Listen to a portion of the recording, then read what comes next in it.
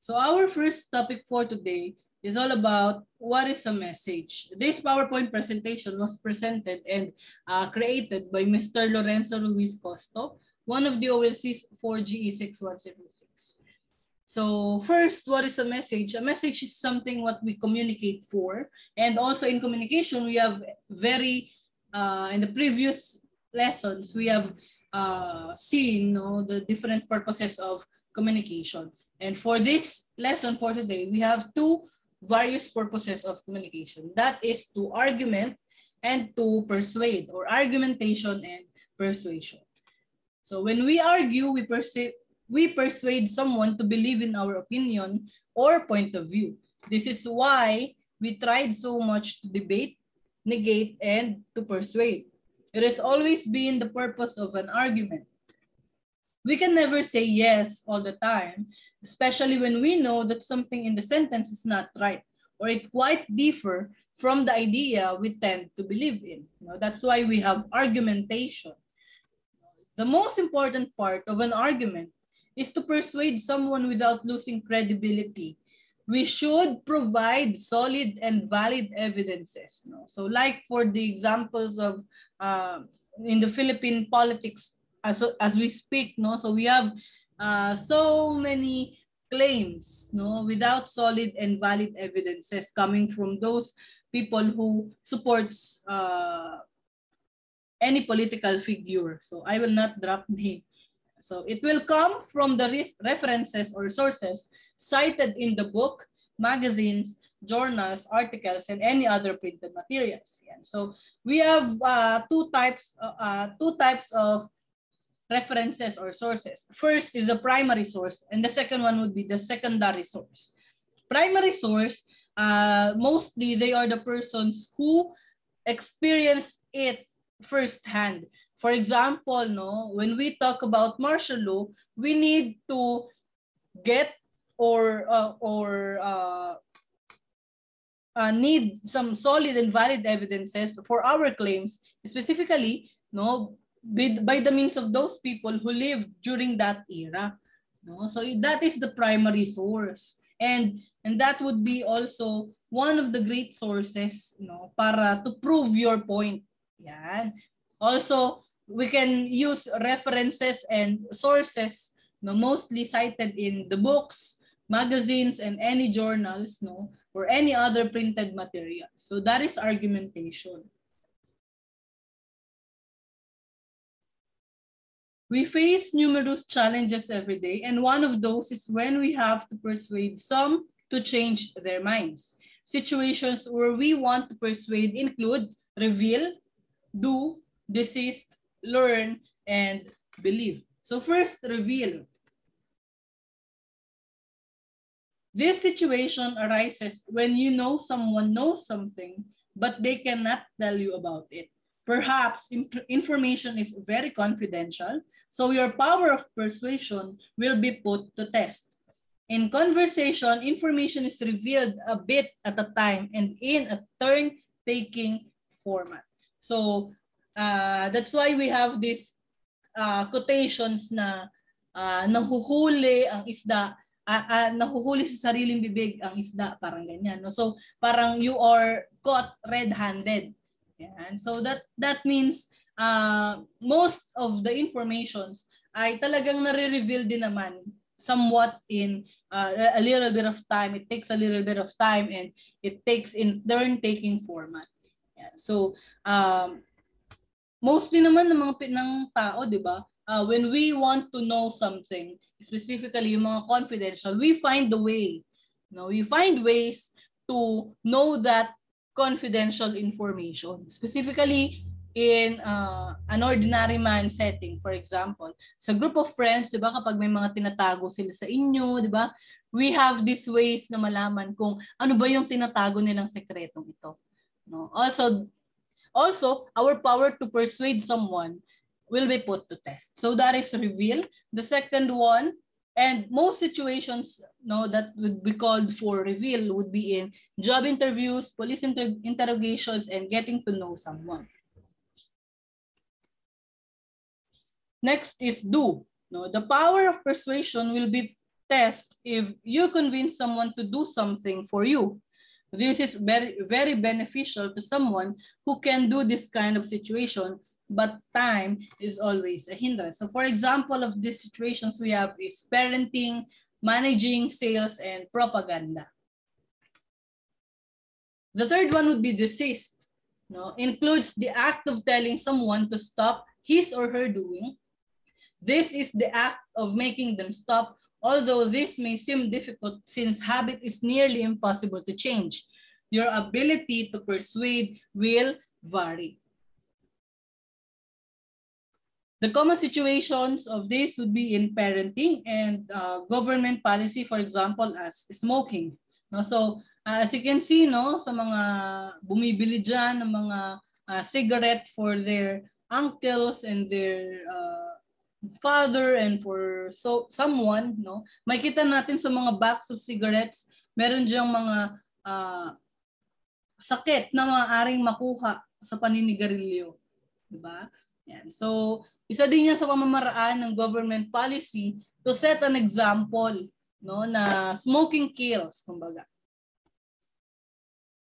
next one would be learn no the goal is to impart knowledge and making someone understand something No, so, so the common situations would be here is in teaching, coaching, and parenting. Lastly is to believe. No? Changing someone's belief, such as in religious conversations, beliefs are at the base of much of what we assume is true. This makes persuading at this level both powerful and difficult. Yet, when you master working at this level, No, you may be better at all around persuading. So most of this, no, we are uh, most of our time, no, may mga pagkakataon po na may mga dumadalo sa ating mga religious uh, groups, no, like Mormons, sa mga bahay-bahay, 'di ba? Yung house to house visits nila, mga INCs, mga Christians and so on and so forth, wherein they are persuading you no to change your uh, to change what you believe no? or to change your religion.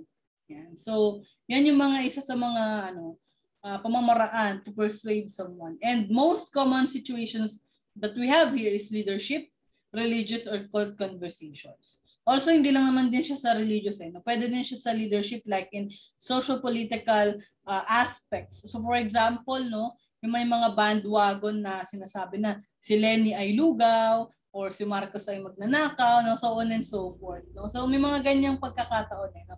May mga ilang tao na sinisira yung kumpiyansa natin sa mga gusto nating iboto when it comes to uh, election this coming 2022. Diba? So yung may mga nilalabas silang mga evidences daw kuno na mga ganyan. No? So uh, if you are a voter, no, I want you to uh, analyze also to educate yourself kung ano ba talaga yung nangyari noon, ano ba yung kaya na kayang ibigay ng mga politikong ito, no? Uh, let's just look on on their platforms first, no? Bago tayo mag uh, conclude na sila yung ating iboboto. Yan. So, I am not uh, I am not uh, telling you na iboto niyo si Marcos, iboto niyo si Lenny, si Rastaman at kung sino man, di ba? So sana uh, isa na lang ito sa mga magiging ano ko, uh, gusto kong sabihin is that uh, vote wisely, no? Timbangin natin maigi kung ano-ano ba yung kanilang mga kakayanan, yung maaaring nilang magawa sa ating bansa. Okay? Also, we have here uh, on how to persuade people to agree. No? So first is by term liking. No? it is easy to persuade people if they like you. Most of the time, that's why, no, for most of our uh, close friends, kasi gusto nila tayo. No? Specifically, yung mga best friends natin na may lihim na pagtingin, no? that's why most of them, no, talagang uh, kung ano yung pinapagawa natin sa kanila, ginagawa nila. No? Second one is social proof. Implies that people are moving in the direction you want. Third one is consistency. We must keep our words consistent. The fourth one would be authority. People are strongly influenced by experts like doctors, no? Kapag sinabi lang na, oh, 99.9% ang natatanggal niyang bacteria or germs sa ating katawan kaya gamitin natin ito no so that's why most of the uh, commercials no? Talagang may binabanggit sila mga experts no? Kasi we as a we as a uh, person no? Most of the time we always or we are being influenced no? Specifically by these experts. Kaya napaka-importante ng kanilang mga kasi kapag sinabi nating experts yan or na, sila ay authority no? Parang may they are inflicting uh, knowledge to us no that's why uh, okay sinabi na ng doktor diba so yun na dapat yung gawin so may mga ganyan tayong pagkakataon or ganyang type on how to persuade people to agree the fifth one would be scarcity wherein people want what they cannot have yan. Yun yung mga ano eh, mga pamamaraan eh. No? So for example, no, o yan. Nangako siya na bibigyan kanya ng trabaho. That's why you always agree no kung sa kanyang mga sinasabi, no? Or bibigyan kanya ng kotse, no? So you will agree no to whatever he or she will say to you as long as you can have your car. Yan. Next is reciprocity. No, reciprocity is to give something to gain something. So, most of the time, yan na yung mangyayari sa ating election this coming 2022. di ba? So, most of uh, politicians na gustong tumakbo or they have these ambitions to run for the presidency. Yan. Talaga magbibigay sila na magbibigay no just to lure us no to agree to their platforms na iboto sila no pero sana wag tayo magpapadala sa mga ganyang klaseng pamamaraan para tayo ay masuyo na iboto sila. No? So, yeah. so my final uh, quotations for me no dito sa ating topic for today is to vote wisely kasi nga sa darating nating eleksyon diyan nakasalalay ang ating henerasyon sa ngayon. Okay. So next topic is all about communication and strategies using tools of technology. So in the previous lesson, we understand why there is a need for humans to communicate. They do so for certain reasons and purposes.